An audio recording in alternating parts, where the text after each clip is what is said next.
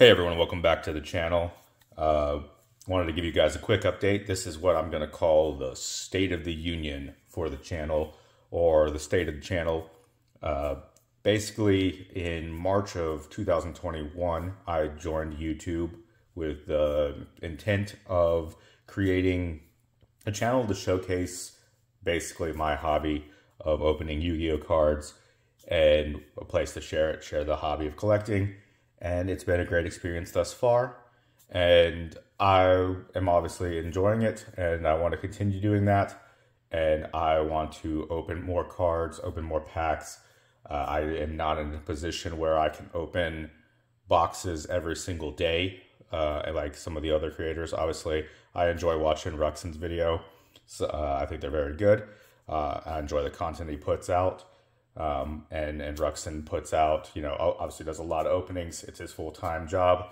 That is not the case for me. And maybe one day uh, I'll be able to open a lot of uh, boxes every single day.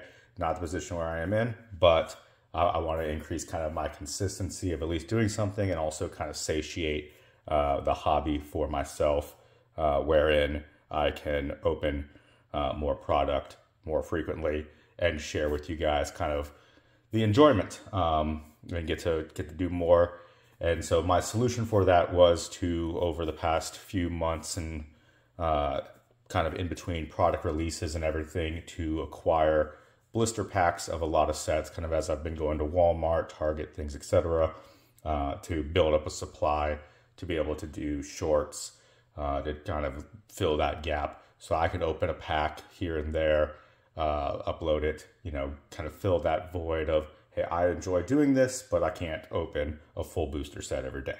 So wanted to give you guys that update, let you know that's kind of what I'm looking at. I don't know if I'm going to call it like pack a day challenge or something, but it's to increase my my consistency, kind of do it obviously with YouTube, kind of the whole content thing and content creation. Consistency is key. I know that, but it's more so being able to do it, have a consistent kind of sharing it and so it's not like a demand of I have to have sets and boxes and everything and when when necessarily there is not a set or box available to open there's no product that's being released yet old stuff is kind of harder to come by um, and this is not my full-time job kind of thing.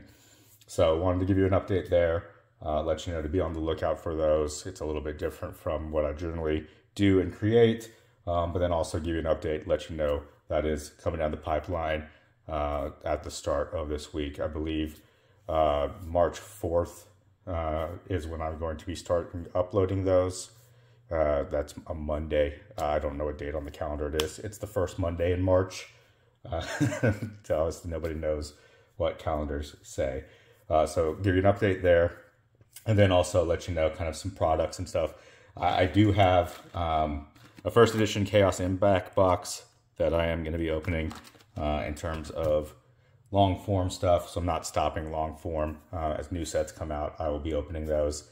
I do also do have the Legendary Collection 2 box to open at some point as well. I did skip over the Battles of Legend Chapter 1. Project was not exciting enough, kind of in my opinion. Nothing really stood out uh, from a collector standpoint. I think it's a great reprint set, but nothing that I want to chase from a collection standpoint. Now, to give you a preview of what exactly I have been doing over the past few months when I say I've been collecting boosters um, from blister packs, this is what I mean. Um, this box, right, it's about this deep and is packed full of just, you know, blisters from various sets. We got some Darkwing Blast, Valiant Smashers on the top, Ancient Guardians, uh, there's a lot of pote down there. Uh, I know that. There's Hidden Arsenal. That right there. This is a Hidden Arsenal. Steel Storm Invasion is in there somewhere. Uh, Battles of Legend, Crystal Revenge. We got a Phantom Rage pack there. Uh, uh, there's Duelist Nexus. We got Rise of the Duelist up here. Darkwing Blast. I think I said that already. A lot of just random stuff. Cyberstorm Access uh, Dimension Force. You literally just whatever blister packs I could find, you know, coming off of stores and everything. Lots of King's Court. So we got Dimension Force, Patient Chaos. There's a 2017 pack. of that. Um, just, you know, like I said, I, I mean, the box is, is full at this point. Um, so I, have got quite a bit just in here ready to go uh, to start this adventure and this journey. Be on the lookout for that. Like I said, State of the Union, State of the Channel. But look out on shorts. We'll open these. We'll make our way through these over the next however long it takes. And I'm going to keep replenishing it. And what I'm going to do is list the pack, figure out what the best card is in each pack, keep a spreadsheet tally, and then we'll call it the pack a day until I get a silver play button challenge, and then keep moving the goalpost uh, as things go on. Chaos Impact, going to try to get the Starlight Masquerena at some point. Uh, that'll be one of the long form videos when we have a lull in the uh, in the release of good content. So I'll catch you guys in a few weeks uh, on the next set release and then also for the Chaos Impact. But you guys will see shorts uh, for all of these fantastic uh, packs. Uh, so a lot of good stuff here. Catch you later. See ya.